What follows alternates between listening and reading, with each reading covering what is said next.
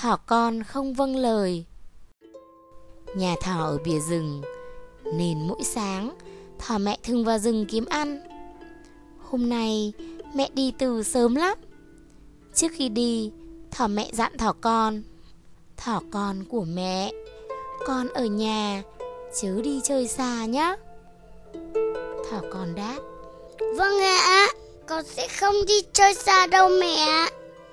Nói rồi Thỏ con chào thỏ mẹ Rồi vào nhà chơi. Chơi được một lúc Cậu ta đi đi lại lại và nghĩ thầm. Sao mẹ lâu về thế nhỉ? Đang mải nghĩ Bỗng bạn bướm bướm bay tới và nói Này thỏ con ơi Ra vườn kia chơi đi. Ở đấy có cỏ này Có hoa này Thích lắm Thỏ con liền bảo. Nhưng mẹ tớ dặn là Không được đi chơi xa Tớ không đi đâu. Bướm bướm lại nói Chỉ đi chơi một lúc thôi Chúng ta sẽ về Trước khi mẹ cậu về là được. Thỏ con chơi quanh quẩn ở nhà mãi cũng chán. Thấy bướm bướm nói vậy Nó nghĩ ừ, Mình đi chơi một lát Thì có sao đâu. Thế là thỏ con và bướm cùng đi chơi. Cả hai say sưa hái những bông hoa đủ màu sắc. Thỏ con nghĩ Mình sẽ hái một bó hoa về tặng mẹ Chắc mẹ sẽ rất vui Và không mắng mình đâu. Thế rồi cả hai cứ đi mãi Đi mãi Cho đến khi trời sầm tối. Bầu trời kéo đến những đám mây đen Và bắt đầu có những tiếng sấm hung dữ Bướm bướm và thỏ con sợ quá. Bướm bướm nói Thỏ ơi về nhà đi Tôi sợ lắm. Tôi về đây Tôi về đây.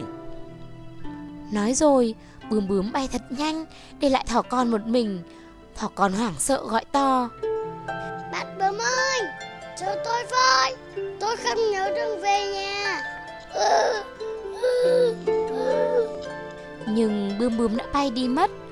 Bây giờ thì thỏ con chẳng biết đường về nhà nữa. Trời bắt đầu có những hạt mưa rơi xuống. Thỏ con sợ quá, Chẳng biết làm thế nào.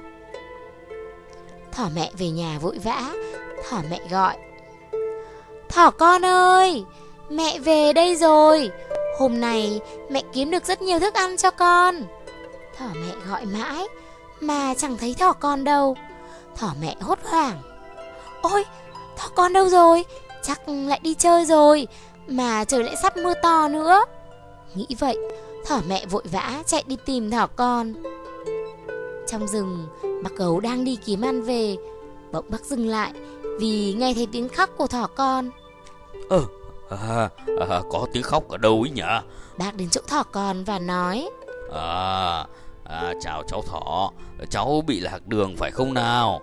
À, Nhà cháu ở đâu? Để bác đưa cháu về Thỏ con gặp được bác gấu Thì mừng rỡ vô cùng Thỏ nói. Vâng Bác đưa cháu về với ạ. Nhà cháu ở bìa rừng bác ạ. Thế là bác gấu đưa thỏ con về nhà.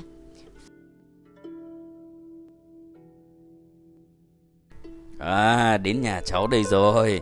À mẹ cháu ra đón cháu kia Vừa về đến nhà Cũng là lúc thỏ mẹ trở về trong nỗi thất vọng Thỏ mẹ mừng rỡ nói Cảm ơn bác gấu.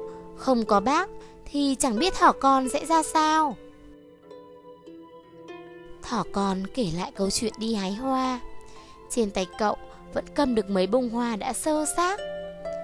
Thỏ mẹ ôm con vào lòng và nói Ồ, con của mẹ rất ngoan Nhưng nếu con đi một mình thì rất nguy hiểm đấy. Lần sau phải nghe lời mẹ dặn Không được đi chơi xa nhé Thỏ con nói Vâng ạ, từ nay con sẽ vâng lời mẹ